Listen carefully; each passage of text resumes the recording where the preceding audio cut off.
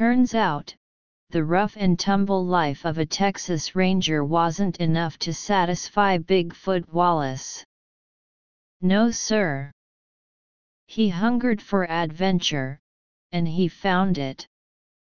First he fought against Mexican General Adrian Woll's invasion of Texas in 1842, then he volunteered for the retaliatory raid across the Rio Grande.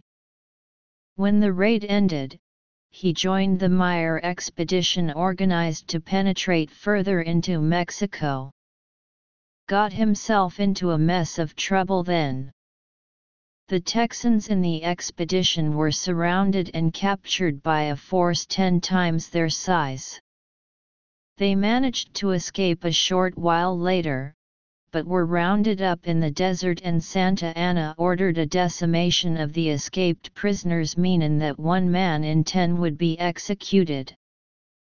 The Mexican soldiers put a mess of beans into a covered crock 159 white and 17 black and each Texan had to draw a bean in alphabetical order, starting with the Texan officers. Anyone who got a black bean was shot, and the ones who got a white bean went to prison. Course Wallace had to draw near the end of the line, not good odds. And being a rebel, he ended up with a grey bean. Lucky for him the officer in charge decided the bean was white, so he didn't get shot with the rest. Spent a couple years afterward doing hard labor in a Mexican prison before being released. You'd think OL Bigfoot would have settled down after that last episode, but not him. He joined the other Texans in the Mexican-American War and fought with gusto, since he had so many scores to settle with the Mexicans who'd killed his brother and treated him so bad.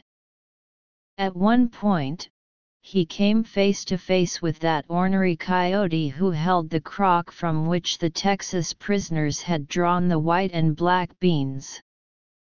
Unfortunately, he was under a white surrender flag at the time, but it still took several fellows to restrain Wallace from shooting the man.